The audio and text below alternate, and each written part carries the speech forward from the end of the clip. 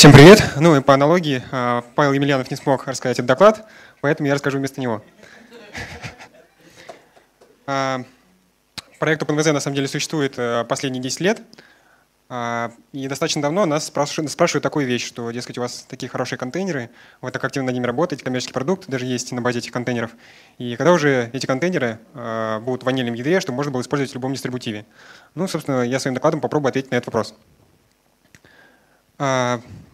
Я не так давно занимаюсь проектом OpenVZ, вот, зато достаточно давно работаю в компании Parallels. А, и расскажу немного историю OpenVZ вкратце. А, в 1999 году а, появилась концепция создания контейнеров, когда человек, который занимается наукой в нашей компании, предложил основателю компании Сергею Белоусову концепцию изоляции процессов в Linux, концепцию namespace в 2000 году а, команда из пяти инженеров а, попробовала а, сделать концепт коммерческого продукта, который впоследствии был назван «Виртуоза». Идея как бы получила право на жизнь. И в 2000, в 2000 году запустили бета-тестирование вот этого прототипа продукта. Насколько я помню, там несколько сот контейнеров получилось запустить на этой первой версии. И в 2002 году состоялся первый релиз а, вот этого продукта. А, в 2005 году э, компания решила э, параллельно с коммерческим продуктом запустить э, открытый проект, который назвали OpenVZ, и в рамках этого проекта открыть вот этот форк линуксового ядра, в котором мы реализовали свои контейнеры. И в 2015 году весной мы открыли остальную часть нашего коммерческого продукта, по большей части большую часть э, компонентов виртуоза, потому что некоторые части все-таки осталась закрытой. А, мы занимаемся контейнерами вот с 2000 года, получается. И первые, первое время, когда мы этим занимались, мы, по сути, сделали форк линуксового ядра, и только в рамках этого форка разрабатывали контейнеры. А чуть позднее мы поняли, что вот эти наработки полезно было бы отдавать в мейнстрим. Зачем это нужно делать? А, тем самым можно облегчить э, э, затраты на поддержку э, вот этого форка. Потому что если ты отдаешь изменения в апстрим, то тебе не нужно весь свой патч-сет перевозить на новую версию ядра, так называемый rebase. А, и когда мы это поняли, мы начали вести работу по интеграции некоторых наших отдельных компонентов для контейнеров и пытаться их продать в апстрим. Первыми компонентами были PID namespace, нет namespace. И вот по вот этим всплескам, где-то в районе ядра 2.6.25, вот эти компоненты были приняты. Дальше с переменным успехом мы пытались остальные, остальные части контейнеров продать в, в апстрим. А, но а, как бы это не особо хорошо получалось. Дальше а, наиболее удачным примером можно было назвать э, проект Priu, про который только что Паша рассказал. И с 2012 где-то года мы пытались э, э, интегрировать наши патчи по виртуализации NFS. Это и клиент, реализация и клиента, и сервера, который работает в контейнере. И э, вот как здесь отмечено, э, за все время мы э, отдали в апстрим порядка 2000 патчей. Это и какие-то отдельные реализации контейнеров виртуозных и багфиксы, которые мы отдаем в апстрим. И, ну, то есть это все патчи, которые мы отдали в апстрим. Отвечая в целом на вопрос, когда уже OpenVZ будет в Linux ядре, в мейнлайне, можно ответить, что оно уже, собственно, там – а, это и то, что мы уже отдали, и то, что мы вот, э, над чем мы сейчас работаем. В целом, примерно мы отдали 60% э, э, того патчсета, который отличает нас от ванильного ядра. И, как я перечислил, это вот четыре самых главных части, которые сейчас находятся в ваниле. Net namespace мы целиком полностью сами сделали. Pit namespace были реализованы Павлом Емельяновым совместно с разработчиками из IBM. Там интересная такая переписка была. Павел сделал патч-сет на реализацию EPID namespace. Ему ответили разработчики из индийского отделения IBM и сказали, что нас такая реализация не совсем устраивает, нам так не надо. И представили свою реализацию, ну уже со вложенными PID namespace. На что Павел ему возразил, что вложенные namespace немножко тормозно работают, вот. А на что индусские разработчики возразили, что зато у вас нет вложенных э, namespace для PID. Ну, Павел собрался с силами, э, сделал нормальную реализацию вложенных namespace, вот, и этот патч уже был принят. И вот примерно в таком режиме э, ведется общение и интеграция наших патчей в ванилу. Memory группы, девайсы группы было, были, по-моему, практически нами тоже разработаны. Про Криву э, я уже не буду повторяться, это Павел рассказал. И в Virtuoso 7, э, которая содержит ядро Archel 7, там уже нету. Ну, если есть, то какие-то небольшие патчи, которые уже по, сути есть в ваниле, но уже живой, реализации живой миграции в ядре уже нету. И, как я уже говорил, виртуализация NFS, которую закончили интегрировать в 2014 году. График показывает размер дифа между виртуозным ядром и археовским ядром, на котором базируется это виртуозное ядро. На предыдущем графике предыдущий график показывал разницу между версией ванильного ядра, чтобы можно было понять, сколько патчей в каждое ядро было принято. Этот график показывает diff по отношению к архельным ядрам, а, тут смысл такой, что раньше мы базировались на ванильных ядрах, то есть мы брали а, последний релиз ванильного ядра и перетаскивали туда свои патчи. А впоследствии решили базироваться на архельном ядре, а, по-моему, как раз в 2005 году, ну, может, чуть позднее. Мы исходили из тех соображений, что ядра от Red Hat более стабильные, чем ванильные, и нам не приходится поддерживать еще драйвера. Потому что Архел, он э, очень активно работает над своими ядрами, они и какие-то э, бэкпорты делают из ванилы, и за драйверами следят, обновляют, и плюс дополнительное тестирование.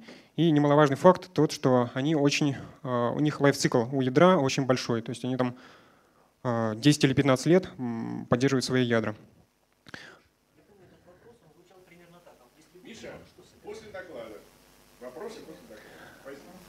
А, хорошо, я запомнил твой вопрос, отвечу позже. А, тут можно видеть, что а, размер патча был снижен а, больше, чем в 4 раза, или в 4 раза. Вот. И мы до сих пор активно над этим работаем. То есть мы стремимся к тому, чтобы вот эту вот разницу между архельным или ванильным ядром свести к минимуму. Но реальность такова, что как бы мы это ни стремились сделать, мы делаем коммерческий продукт, и у нас часто появляется какая-то функциональность, а, которая требует э, э, каких-то изменений в ядре. Мы реализовываем э, эту функциональность в ядре, и вот должно пройти какое-то время между реализацией вот, этого, вот этой функциональности и интеграцией этой же функциональности в ванильное ядро. То есть это и работа с апстримом, и переписка, и постоянная какая-то переделка патчей, которая ну, для того, чтобы как бы сделать, э, сделать э, патчи в том виде, который бы устроили других разработчиков. А, по поводу того, что у нас еще осталось, что еще осталось э, добавить в ванильное ядро. Это Piloop, это реализация сториджа для контейнеров, которая появилась в Virtuoso 6. А, это, по сути, реализация loop-девайса Linux, но Piloop поддерживает э, создание снапшотов, э, resize, э, дополнительный API и немножко оптимизированная скорость работы с девайсом. Это изменение для X4. Мы сделали такую штуку, как баллонинг, которая позволяет делать resize пилупа, внутри которого находится файловая система X4. По поводу памяти не хватает некоторых вещей для управления учета памяти. Это э, требует портирования э, memory групп, которые будут учитывать э, память ядра, использование памяти ядром, idle memory tracking. Э, эти патчи на самом деле уже ванилу послали, и, как мне разработчик рассказывал, их уже приняли Контейнер уже принял эти патчи, но в, ядро, в бранч, ну, в, это, в репозиторий к Linux они еще не попали.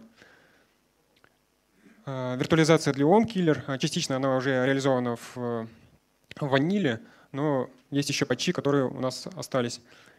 И виртуализация sysproc файловых систем для того, чтобы дополнительно изолировать контейнер от хоста, потому что в этих файловых системах содержится очень много информации, которая не всем нужна в контейнерах.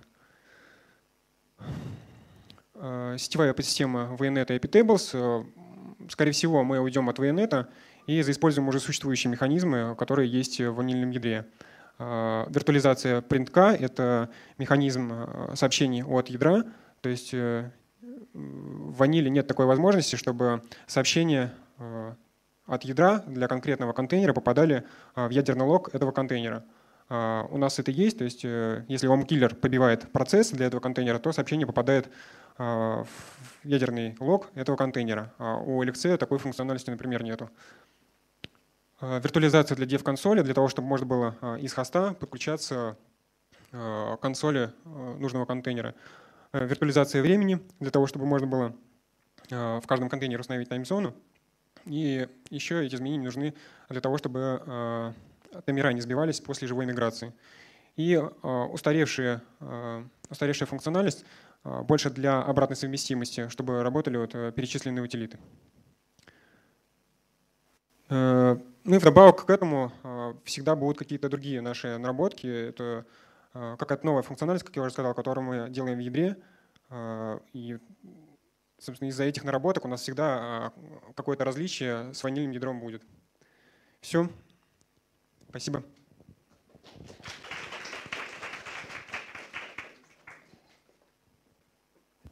Благодарю. Это был не вопрос, это был комментарий. Что я помню тот вопрос вот Кирилла Колышкина о том, а, какой, на каком OpenVZ ядре, вот то, которое от ванильного растет, или то, которое от архильного, основываются дистрибутивы.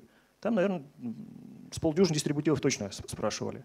Вот. И, в общем-то, все хором сказали, что мы в основном используем архиельное, но некоторые сказали, что мы рядом пакуем ванильное, но вроде им пользуются меньше. Вот ровно на основании этого, насколько я понимаю. А это где такое было? Это вот Дима Левин, может, еще вспомнит. Но это было в частной переписке, ну, вот лет, ну, может, и 10 назад.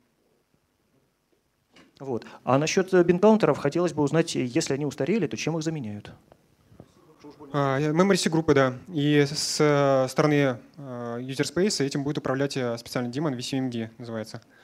У нас на встрече разработчиков контейнеров, которым проводили Яндексе, был разработчик, который как раз отдельный доклад читал на эту тему. Можете посмотреть на YouTube и выложен доклад. Если кто не хочет, я буду задавать вопросы.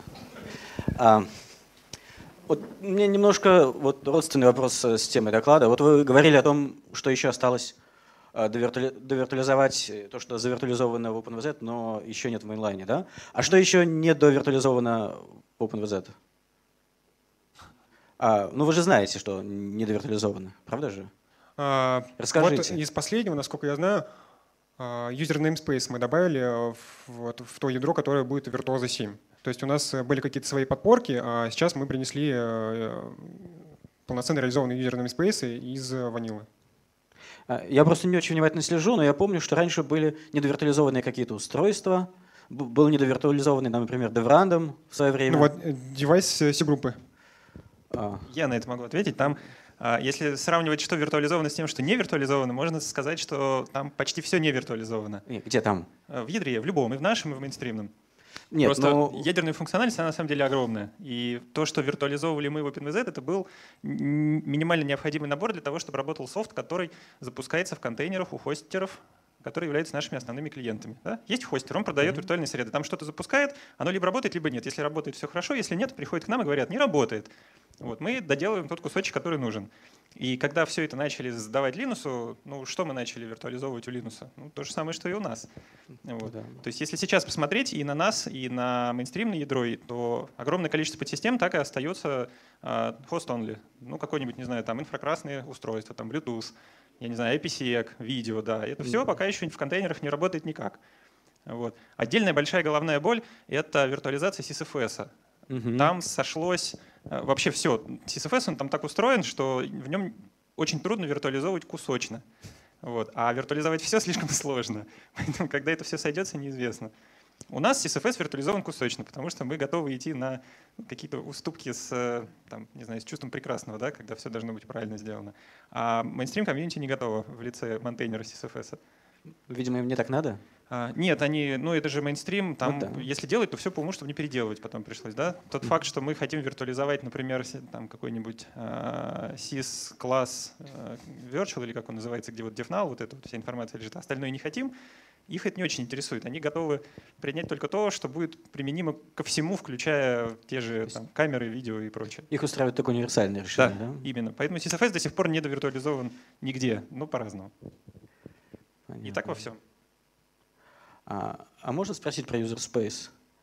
А, было принято, очевидно, такое стратегическое решение, да, написать новый user space, а, несовместимый со старым user space. Не совсем так все. А, расскажу изначально, что там происходило. А, у многих возникают такие вопросы, немножко путаница получилась. После 2005 года существовал проект OpenVZ, и мы для этого проекта всегда выкладывали э, исходники ядра, на котором базируется коммерческий продукт. То есть ядра у нас практически идентичные были. А потом э, у нас сбоку от этого проекта ну, э, Кирилл Колышкин начал поддерживать утилиту в WizXTL. И она как-то сама по себе жила, там, что-то дописывал, там какие-то баги фиксил. А в коммерческой версии тоже была утилита в WizXTL. В какой-то момент кодобейсы разошлись и open, у WSGTL OpenVZ и WSGTL, который в коммерческой версии.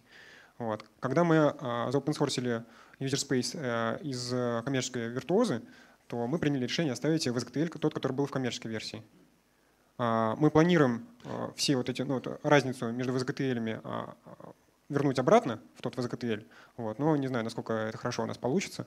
Вот. А по поводу остального user space мы его с нуля не писали. Он был еще в старых версиях Virtuoso. Это Virtuoso 4, когда продукт назывался Parallels Server by Metal, Parallels Cloud Server, это все то же самое. И вот там все эти утилиты уже были. То есть с нуля прямо для Virtuoso мы ничего не писали. Ага. А почему они разошлись? Это так случайно получилось или это... Это или там проблемы в коммуникациях. А, то есть там разные модейнеры были? А, что были? Были разные монтейнеры? Вот. Ну, можно сказать так. Это проблема в, коммуни... в а. коммуникациях между людьми. Понятно. Ну и тогда вопрос, а куда вы дели Кирилла? Кирилла? Он жив здоров. Нет, это мы знаем, да. Это мы знаем, да, но все-таки. А, Кирилл просто отошел немножко от проекта, он занимается другими вещами, он а, немножко работает для Крио, немножко там для User Space и так далее. То есть он также в OpenVZ, но занимается немножко другими вещами. Ну ладно, спасибо. Можно сказать так, что он передал ПВЗ более молодому поколению. Ему удалось. Надо же. Было достаточно. У меня вопрос э, дополнение к предыдущему вопросу. Собственно, вопрос звучал на NVE летом. А делится ли энтропия для DevRandom между контейнерами? Ответ на тот момент был нет. Вот. Вопрос вроде как касается безопасности того, что работает внутри контейнеров, генерация ключей, туда-сюда. Это все там же, да. Виртуализованный DevRandom, да. Ну вот DevRandom это как-то не заострил момент, и на DevRandom меня интересует, потому что видео, в принципе, ну, да. бог с ним, Bluetooth тоже мне совершенно не интересен. Как это а видео? DevRandom момент принципиальный, мне кажется. Нет, не да. Но есть люди, которым видео не безразлично. Ну, главное, Еще вопрос? Я не очень э, хорошо знаком со спецификой контейнеров, и, может быть, мой вопрос будет немного поверхностно. Э, но вот, скажем, если э, все наработки по OpenVZ будут включены в основное ядро, э, в mainline, э, то, э, ну, скажем так, если они будут задействованы в ядре, если ядро будет с ними скомпилировано, э, то при отсутствии включенных контейнеров будут ли какие-то, э, скажем так, падения производительности ядре из-за этого? То есть смогу ли я рассчитывать то, что в основном ядре, поставляемом в дистрибутиве, будут включены э, как бы, наработки по OpenVZ? А это все зависит уже от монтейнеров дистрибутива. То есть захотят ли они включить все эти опции, ну, скажем, от которых э, если, если оно не будет сильно снижать производительность, наверное, они не будут против. Вот вопрос скорее в этом. То есть будет ли это сказываться на производительности для тех, кому это не нужно? Для тех, кто не будет спорить? А, я думаю, чтобы ответить на этот вопрос, он должен быть более детальным, то есть э, нужно на конкретные вопросы отвечать, а не в общем. Я могу попробовать ответить почти на этот вопрос. А, появление namespace в ядре замедлило некоторые операции, некоторые существенно. Да? Вы можете попробовать собрать ядро без namespace, которые вам мешают, но тогда какой-то функционал пропадет. То есть вот реально вот часть тех namespace, которые были интегрированы, они замедлили там, процесс namespace, все, все эти namespace, они замедлили, да. У нас есть некоторая вот штуковина под названием хэшер, да, э, которая там создает и уничтожает эти иерархии. И если это делать часто, это легко меряется, насколько там от ядра к ядру, вот там при включении функционала, там насколько оно замедлилось. Да?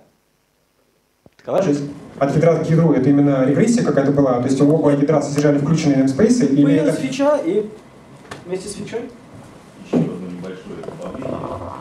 В текущем мире ни Фидору, ни э, кого-либо еще вы не сможете запустить без namespace, потому что все используется система D. Ну, почти. И э, все современные дистрибутивы, ну почти все, они э, потихонечку перешли на D, и они все уже задействуют э, вот эти вот технологии namespace. Разумеется, это говорит контейнер D, я почти уверен в этом. Ну просто так вот уверенно. Да. Недавно нам повезло с контейнером D, который нас спасает от зоны Есть еще вопросы? У меня не совсем разработческий вопрос. А, наверное, у вас доканал. С такой появлением докера, как ваша жизнь изменилась? Вот как компания. Мы стали крепче спать. То есть вся, вся школота убежала туда, в докер. Перестал вас донимать. Ну, я обычно на, на этот вопрос отвечаю так. Ну да, часто задают вопрос про докер. А, у всех разные потребности, и все используют э, именно то, что их устраивает по потребностям. А есть люди, которым нужны а, хорошие изолированные контейнеры. Они используют нас. Там, не знаю, есть много хостеров, которые строят свой бизнес на OpenVZ. А, просто потому, что ну, функциональность OpenVZ их полностью устраивает. Есть хостеры, которые используют наши коммерческие продукты, они покупают дополнительно еще к нашим продуктам техподдержку. Таких тоже хостеров хватает. Есть люди, которым нужно просто, не знаю, какие-то задачи continuous integration делать, э, и для них докер подходит, поэтому они используют докер. Ну, примерно как-то так. А, я могу добавить, что э, мы знаем про докер, э, и, например, мы сделали такую фичу, о которой нас просили хостеры. Это запуск докеровских контейнеров в наших контейнерах. А, Вы любите контейнеры в контейнерах, сделали контейнеры, а, могли запускать контейнеры.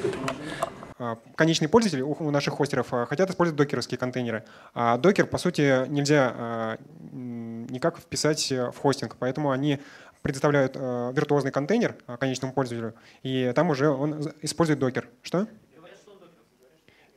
Внутри можно использовать докер, да. Так, спасибо. Есть еще вопросы?